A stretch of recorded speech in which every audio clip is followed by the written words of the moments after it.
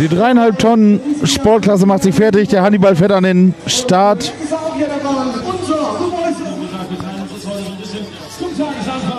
damit wir dann noch beide bis heute Abend 22.30 Uhr durchhalten.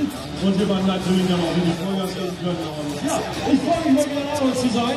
Alte Wirkungsstätte, schon vor 25 Jahren gegründet. Das ist äh, ja Heimspiel für mich und äh, wird bestimmt ein toller Tag.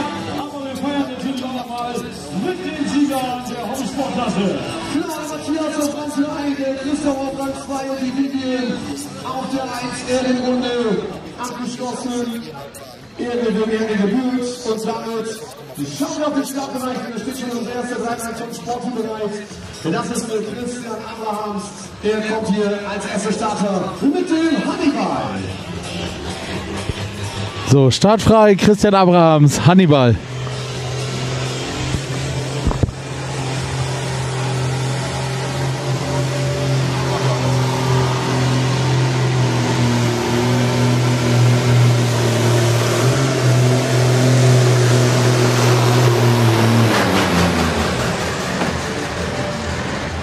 Ja, der Bremswagen steht noch ein bisschen schwer. So scheint es hier für die Geiler Top Sportklasse natürlich wieder komplett andere Bedingungen als letzte Woche in Süddorf, wo wir eine Bahn haben, die knochentrocken war, die steinhart war wie Asphalt.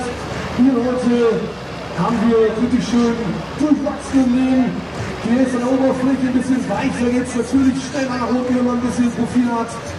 Ja, der Hannibal kämpft sich erstmal hin zur äh, 70, 80 Meter Marke, so scheint es. Ich bin ziemlich sicher, der Bremswagen wird noch ein bisschen leichter gemacht. Die Motoren, äh, die ihr jetzt in dieser Klasse seht, rußen so stark, weil sie generell mit Spritüberschuss betrieben werden, damit sie nicht in Hitzetod sterben. Das führt zur Produktion von sehr groben Rußpartikeln, die äh, nicht gelungengängig sind, also keine Panik. Die Alternative wären höhere Verbrennungstemperaturen und höhere Einspritzdrücke mit einer feineren Verniegelung, äh, die den Verbrauch senken, aber dann werden die Partikel kleiner und lungengängig und das wollen wir natürlich auch nicht. Und es entsteht obendrauf noch viel äh, Stickstoffoxid. Das äh, wird dann wiederum äh, gesundheitsgefährdend. Das muss man einfach so, so sagen. Aber Wein, äh, was das Ganze uns äh, da bietet und wo wir uns mit beschäftigen. Jetzt generell erst einmal der nächste erste Wertungspool. It kommt vor dem Bremswagen mit neu eingestellten Bremswagen und äh, mit äh. Ja, ich habe mit Absicht jetzt mal eben nichts gesagt. Ich denke, besser erklären wie Ulf hätten wir das eh nicht können. Damit ist eigentlich alles gesagt, was äh, Kehrdiesel betrifft, was äh, die Abgaswolke betrifft, was den Sprit, der hier verwendet wird, betrifft. Das hätte ich einfach nicht besser erklären können und damit ist eigentlich auch alles gesagt.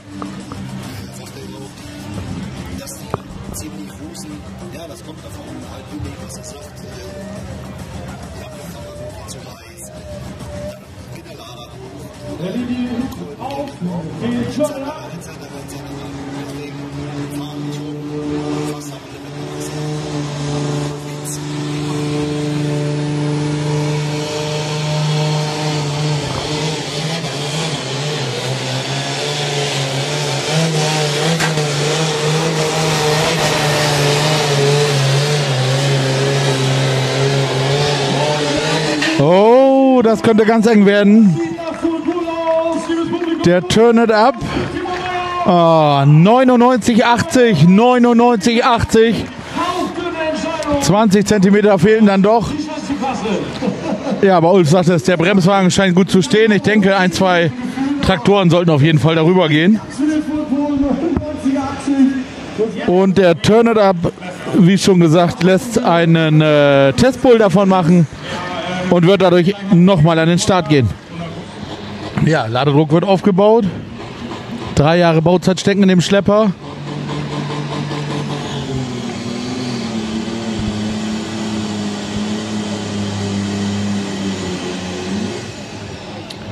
Zu viel Kupplung.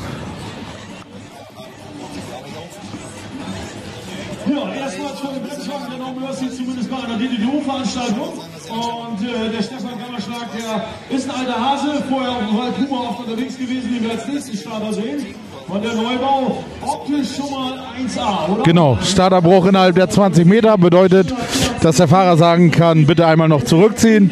Ich will es gerne nochmal versuchen und genau das wird wohl auch gerade gemacht. Sattdrehzahl war es noch nicht, genug Landritt war es auch noch nicht. Die Kupplung hat schon mal ein bisschen gelitten jetzt, also die hat schon mal ordentlich äh, was runtergeludert. Daniel sagt es, die Kupplung wird gut warm wahrscheinlich jetzt schon sein. Vielkraftkupplung. Und äh, jetzt also der Hike 55 Jahre, der vom Auto ist, soll nochmal aufgeladen werden, es soll nochmal probiert werden, ob der, Start, der Startversuch nicht doch erfolgreich vonstatten gehen kann. Stefan Gammerschlag, No Mercy, drücken die Daumen, dass der Main Run hier in Anhalt Glück Ja, auf jeden Fall. Ist in dem Fall das gut, dass die Kupplung schon eine gewisse Wärme hat oder ist das jetzt sehr zum Nachteil? Sehen wir jetzt.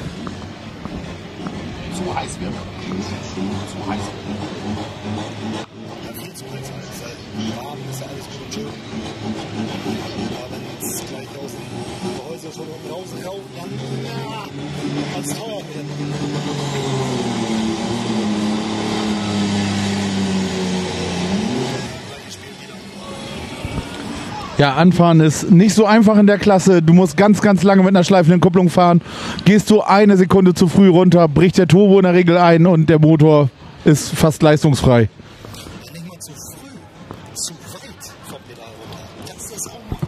Okay. Du hast ja, du hast ja dein Pedal, wie beim Auto kann man sich das vorstellen, langsam loslassen, dann fährt er ja irgendwann los und wenn du dann ruckartig loslässt, ja, dann macht das Auto auch einen Schwung nach vorne. Das ist bei den Kuppen halt auch so.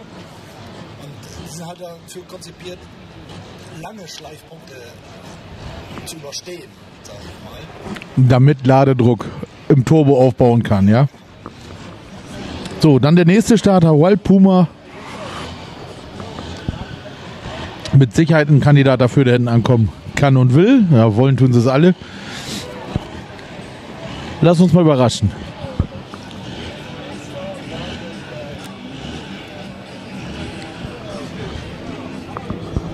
Jo. So,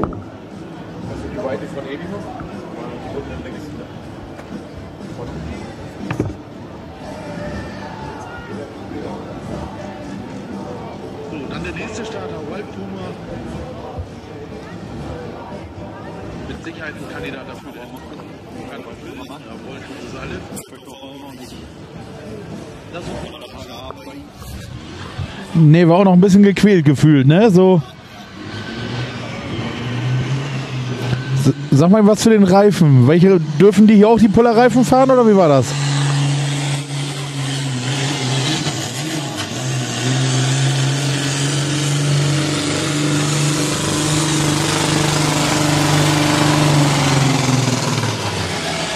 Ja, sah spektakulär aus.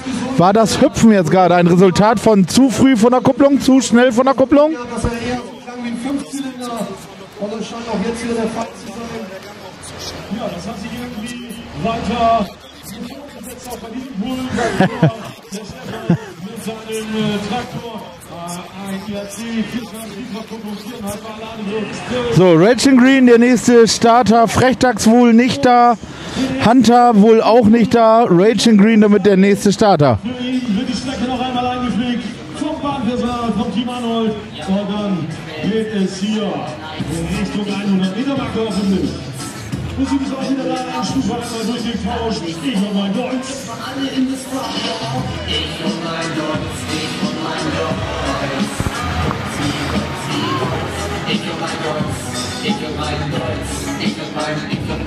Ja, DJ Dan, ich und mein Deutsch. Theoretisch dürfen wir das bestimmt laufen lassen. Ich weiß nicht, ob da GEMA drauf ist. Keine Ahnung. Er selber hat bestimmt nichts dagegen.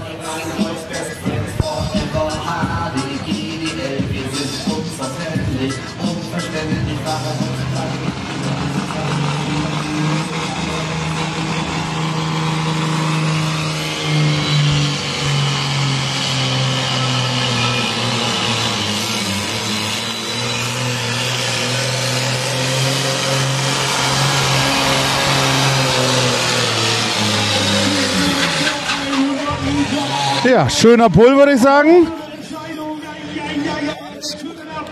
Ja, das denke ich auch. Oh, 99, 30, 99, 30. 50 Zentimeter fehlen. Das gibt's überhaupt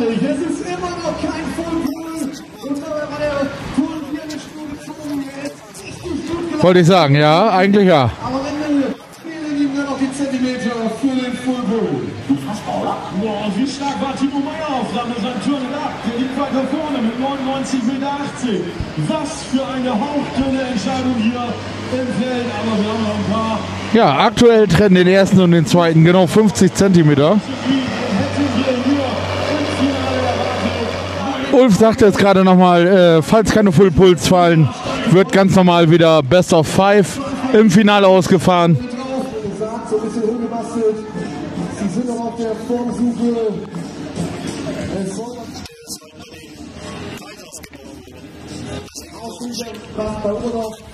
Sieht man wenig, ne? Ein bisschen kann man das erahnen, oder? aufgebaut. 6,6 Liter Hubraum, ca. 600 PS Leistung, Steckengrille, Ringkampf Stefan Möller, Green Money. So, Daumen drücken. Los geht's.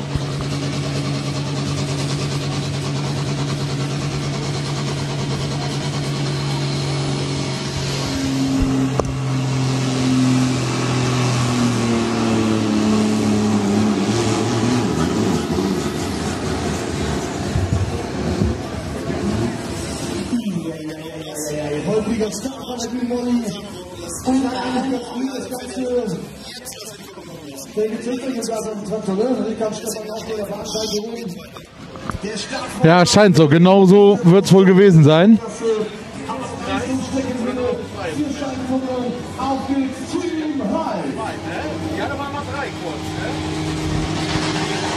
So, der Hulk, der kann das auch.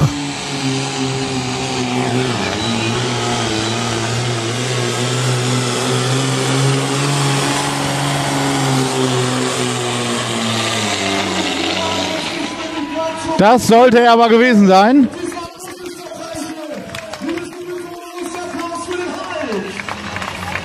Jawohl. Full Pull. 102,62 Meter. 102,62 Meter. Für Stechen müssen sie den Hulk noch sauer machen, dann wird er grün.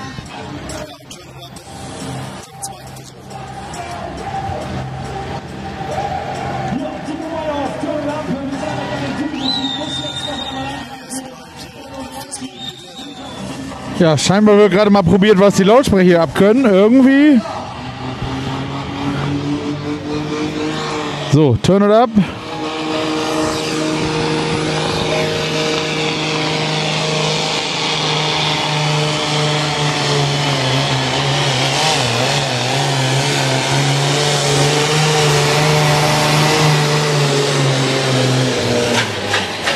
Oh, oh.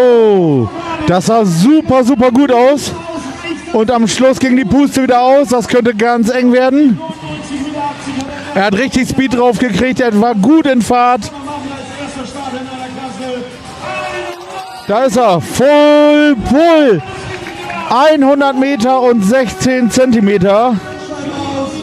So, ich sag vorsichtig, wir sehen den zweiten Full Pull.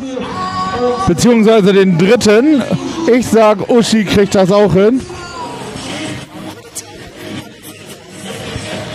Das denke ich auch. So, auf der Suche nach Ladedruck.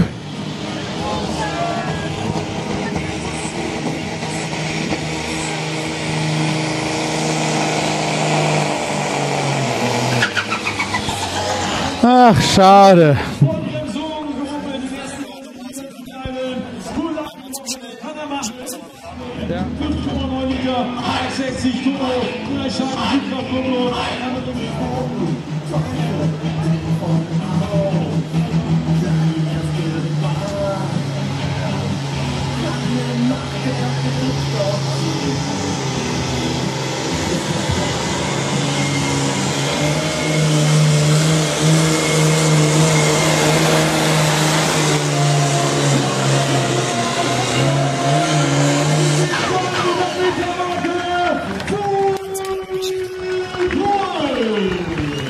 Ja, so wollen wir das sehen. Genau so wollen wir das sehen. 100 Prozent.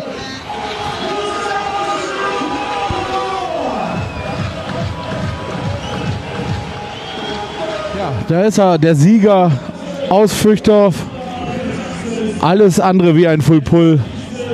Wäre eine Enttäuschung eigentlich. Wenn er so läuft wie letzte Woche, denke ich, ist das eine ganz klare Sache.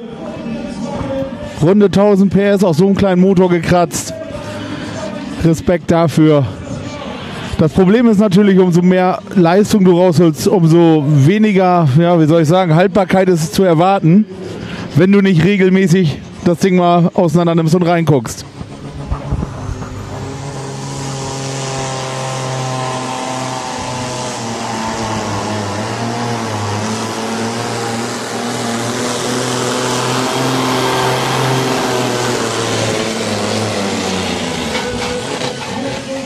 Oh, an sich sehr schöner Pull.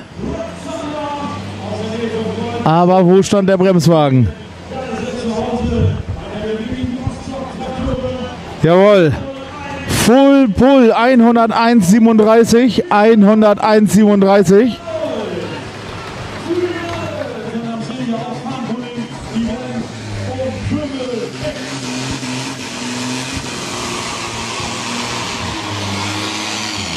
So, Fan Triple X, ja, schnell gestartet, schnell gelandet. Da war auch der Ladedruck weg, leider Gottes. Er ist vor der 30 Meter Marke zum Stehen gekommen. Da hatten wir eben bei der Uschi, habe ich nicht ganz richtig gesagt, Ja, Gas raus, vor 30 Meter stehen. genau. Ulf sagt das gerade nochmal.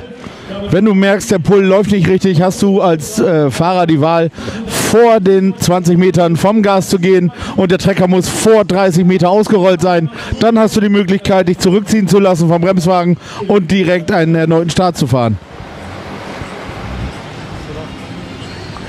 Die Weite jetzt aktuell wäre 24,13.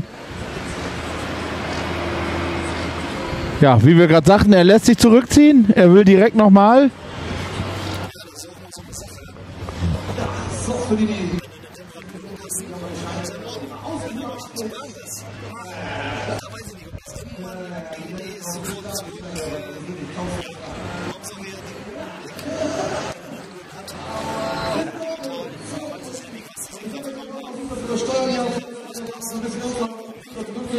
Aber ist schon ein bisschen Pokern, denke ich. Ne? Also du kannst auch den Motor damit kaputt quälen, äh, wahrscheinlich.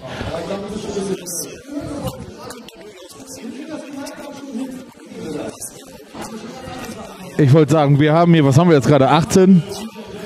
Ich glaube, das ist, äh, ja, ich meine, die sind in Hasmo schon bei über 35 Grad gestartet und so. Da haben die äh, auch die Motoren ganz andere Probleme.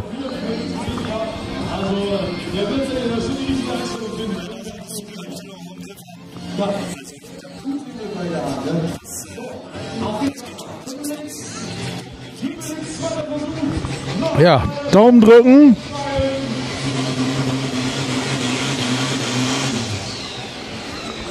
Schade.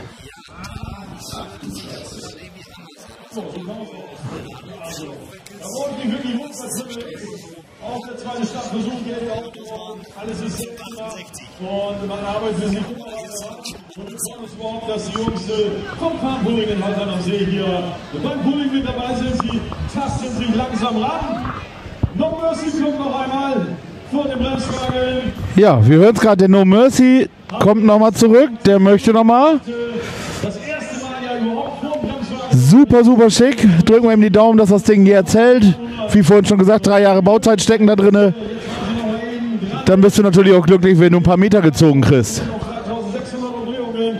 Wollen es jetzt noch einmal probieren. Man kann ja so wirklich riesig Traktorpulling wirklich nur vor dem Bremswagen auf einer konservierten Bahn sind, äh. Doch, das glaube ich wohl, dass das nicht so einfach ist.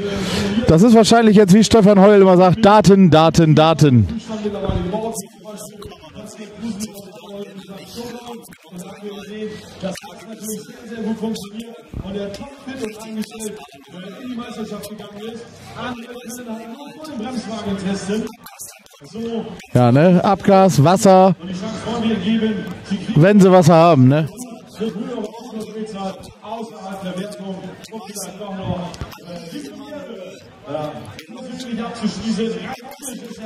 Was mit Öltemperatur auch noch nicht so wichtig auf dem Stück?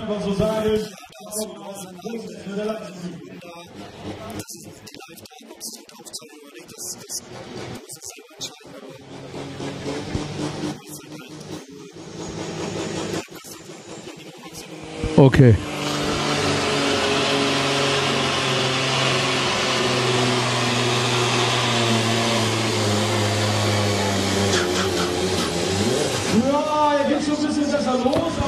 Ja, deutlich besser eben wie eben, würde ich behaupten, aber da geht bestimmt auch noch mehr. Die werden noch ein bisschen einstellen müssen.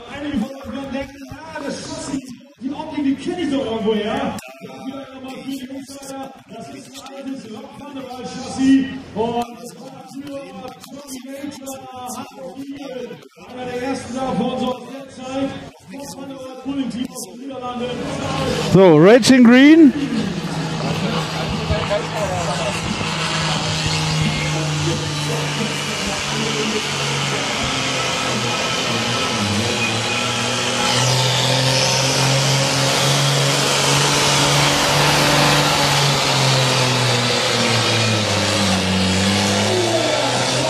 Oh, das wird wieder ganz eng.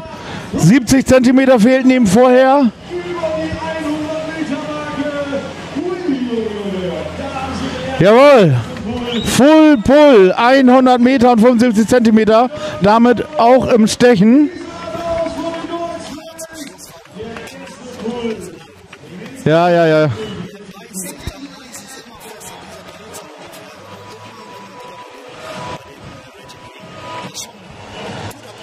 Ja, das wollte ich gerade mal fragen. In den Getrieben ist wahrscheinlich auch fast komplett Eigenbau, nicht? Also auch hier wird nicht mehr unbedingt Serie gefahren, nicht?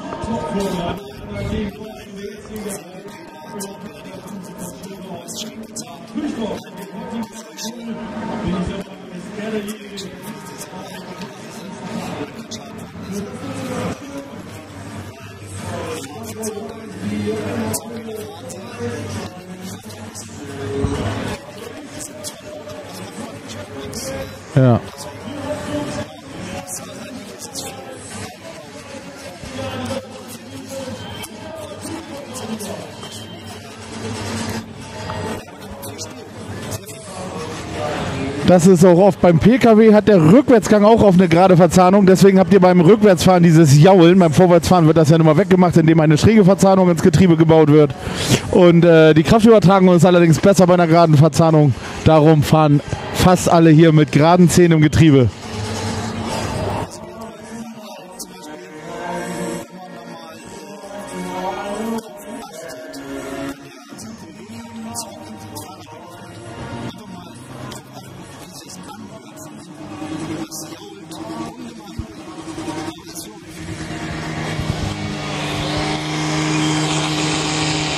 So, der Hulk und Daumen drücken.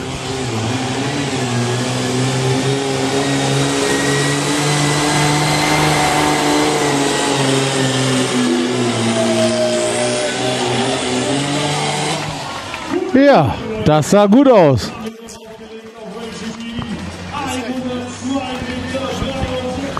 Ja, 102,63 Meter im Pull-Off. Erster Starter im Stechen.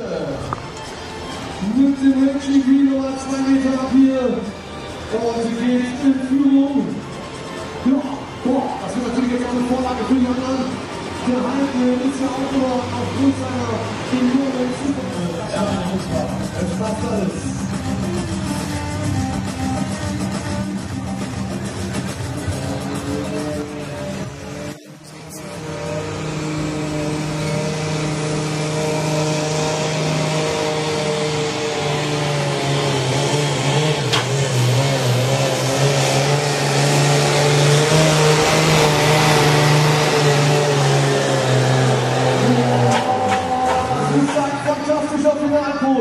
Für die Westseite wird es nicht reichen. Ich glaube auch nicht ganz in den Raging Green, aber trotzdem ist er wirklich gut gegangen. Kleiner Nieser zwischendurch. Auf den Turbolader, aber wenn ihr den mit 95 Meter Marke, 98, 52, Radikal im Finale. Ja, sind gut. Das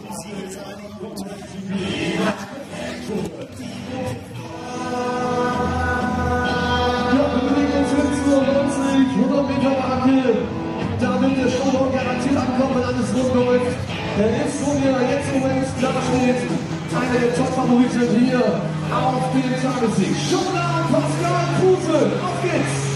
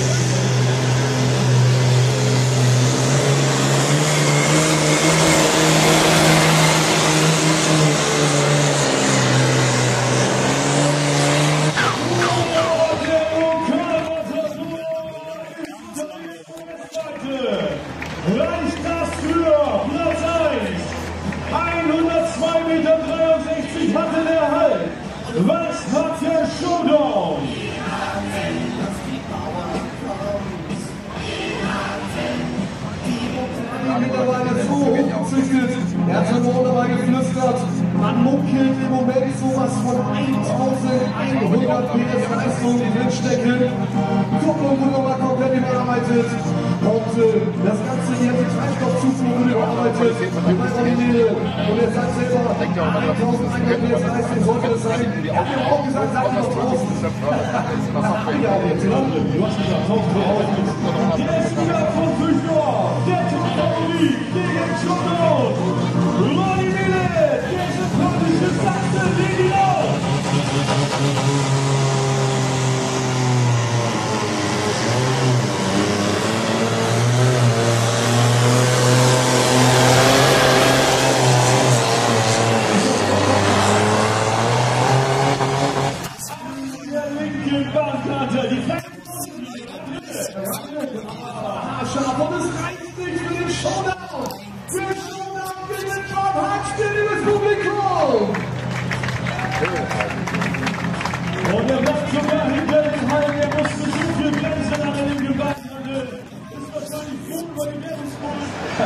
Waren Sieger der Hohen, dritter Platz am Hohen Mittage, der Rock Thunder Ronny Mehle. Ein riesen Applaus. Der Süßer, der sympathische Sachse. 103. Ganz kleines Team, mit dem er unterwegs ist. Und dieses Jahr will er konstant mit Fahrer versprochen. Rang 3, Ronny Mede, Red Thunder. Der zweite Platz geht an den Vizemeister 2022. Ein riesen Applaus für Matthias Eckhoff und seinen Halt. Das ist doch, was ich da schreibe. Ja, ich frage doch du zu. Ich will auch du zufrieden, ist mir doch weg. Das Team aus Marco Neufechter holt Rang 2. Markus hat über den Schickt sich Konzert einer auch noch mal wieder. Noch mal eben wir kurz Fahrrad oder so. Das wollen wir hören. Wir brauchen Heimspielatmosphäre bei der Siegerehrung für den ersten Platz hier. Es ist Bayern und Matador. Und das ich für so Vollkorb, wenn ich da oben drauf Klasse. Und er holt den Tagessieg. Pascal Kruse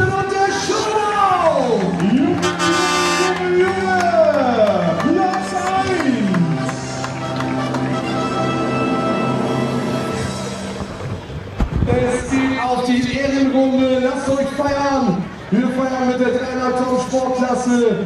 Ab geht's auf die Ehrenrunde.